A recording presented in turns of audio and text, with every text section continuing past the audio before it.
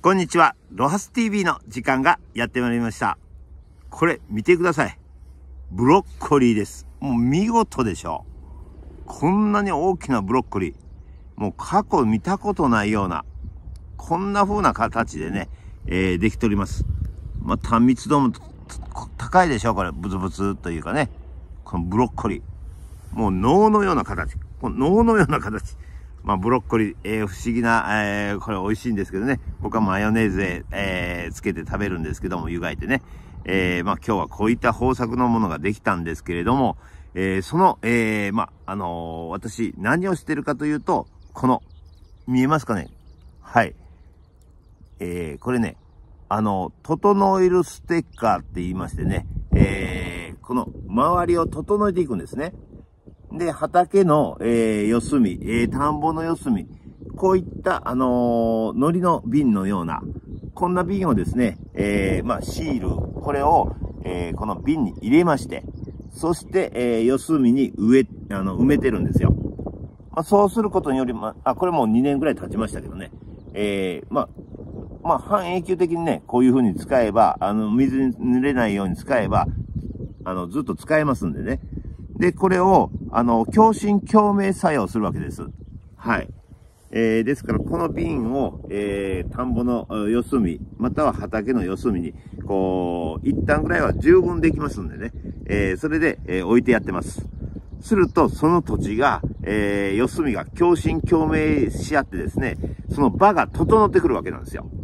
で、整ってくると、えー、お野菜とか、そういった整った空間で、えー、お野菜を作ると、こんなにですね、大きなブロッコリーができたり、えー、お米が割と収穫が、えー、できたりですね、えー、するわけなんです。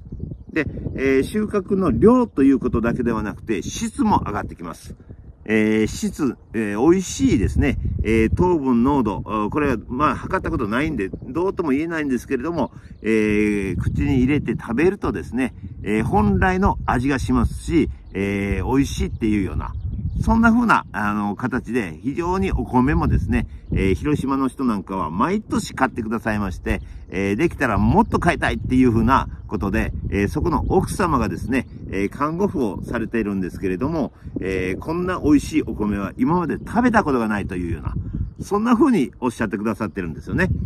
ですから私も作りがいがあってですね、で、その、えー、一つの、あの、まあ、いろんな田んぼにはですね、いろんな工夫を私してるんですけれども、えー、その一つの、としまして、こういった、えー、整える。まあ、土地を整えて、えー、そして、えー、作物を植えて、えー、育ててるっていうような、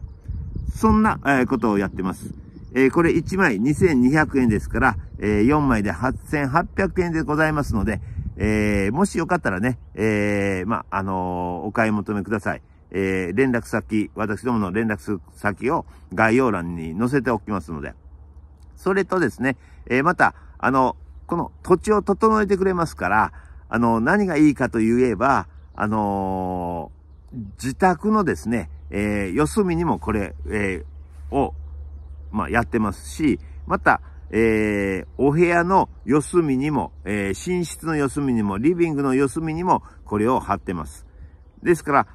あの相乗効果で整っている、整っている中にまた整えるをやると、どんどんどんどん空間が整ってくる。これからですね、いろんな、あの、おかしい病気であったり、えー、おかしい精神状態であったりっていうニュースが非常にですね、今、横行しております。そういった中で、どうやったら自分自身を守れるだろうな、家族を守れるだろうなっていうふうな中で、私は場を整えていくっていうことが非常に大事ではないかなと思ってるんですよね。えー、そんな時に、えー、こういった、あのたかだ、たった2200円で、えー、整えてくれるんであれば、すごく安いもんじゃないですか。だから、これをね、えー、そういった、あの整ってない、イライラする方なんかは、お財布の中に入れて、え、まあ、自分自身を整えたり、お財布の中身を整えたりっていうような、そんな風なあ使い方もやってるんですよ。ですから、えー、まあ、あのー、そんなんね、えー、エセ科学だとか、いらっしゃ、いう方もたくさんいらっしゃるので、えー、まあ、あの、信じる人だけ聞いていただければもういいと思うんですけれども、ま、まさしくですね、えー、こういったものが出来上がってるというのは現実なんですね。はい。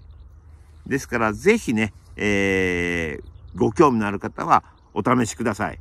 えー、実際にこういったものを作って、えー、そしてまた整ったお野菜でですね、えー、体に入れて、そして、えー、体全体も整えて、えー、整うと精神状態も整って、そして人にも優しく、地球にも優しく、えー、そして自分自身にも優しくして自己肯定感を上げていきませんかそれが、えー、世界平和につながっていくと思います。えー、のんびりした、えー、田んぼの方からのご中、中継でございました。それでは、さよなら元気にやろう